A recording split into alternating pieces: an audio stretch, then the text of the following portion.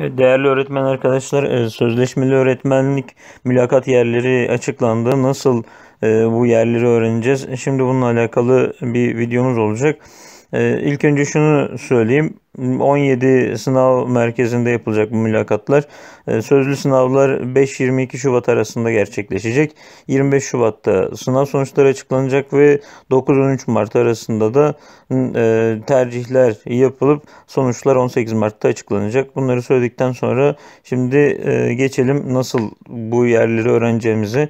E, personel Map Gov.tr'den açıklanıyor artık. Milli Eğitim'in pek çok yaptığı atamanın sonucu, tayinin sonucu vesaire vesaire. İsterseniz Google'dan aratın, isterseniz normal adres çubuğuna yazın. Ben aratıyorum. Personel Map Gov.tr zaten daha önce de girmişim. Buraya tıklıyorum. Arama tuşuna tıklıyorum. İlk gelen zaten site Map Personel Genel Müdürlüğü diyor. Personel Map Gov.tr. E, buna tıklayıp e, giriyorum siteye. Tıkladım. Burada şimdi pek çok şey var. İşte üst tarafta linkler var vesaire. E, burada Ortada kocaman gördüğünüz duyurular var zaten. Son duyuru 2020 Ocak Sözleşmeli Öğretmenlik Sözlü Sınav Yeri Bilgisi yazıyor. Buna tıklıyoruz. Tıkladıktan sonra bu duyurunun sayfası geliyor karşımıza. Bakın alt tarafta ıı, sözlü sınav yeri bilgisini öğrenmek için tıklayınız diyor. Bu tıklayınız mavi yazılı yerin üzerine tıklayıp giriyoruz. Bize burada bir kimlik doğrulaması yapmamız istiyor. Yani sözleşmeli öğretmenlik sınav yeri bilgisini öğrenmek için e-devlet şifrenizi bilmeniz lazım. Türkiye Gov.tr'ye yönlendirdi bizi. Burada kimliğimi şimdi doğrula sekmesine tıklıyoruz.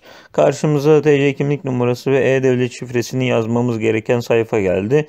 Burada bunları doldurup yine sisteme giriş yap butonuna basıp Evet bastık. İşleminiz devam ediyor. Lütfen bekleyiniz dedi bize. Bekledik ve karşımıza bununla alakalı olan sınav merkezlerinin ilanı geldi. Bu şekilde e, sözleşmeli öğretmenlik sınav yeri bilgimizi öğrenebiliyoruz. E, burada Dediğim gibi tekrar söylüyorum 5-22 Şubat arasında yapılacak sınavlar ve 25 Şubat'ta sonuçlar açıklanacak. 9-13 Mart'ta atama tercihleri yapılacak ve 18 Mart'ta da atama gerçekleşecek.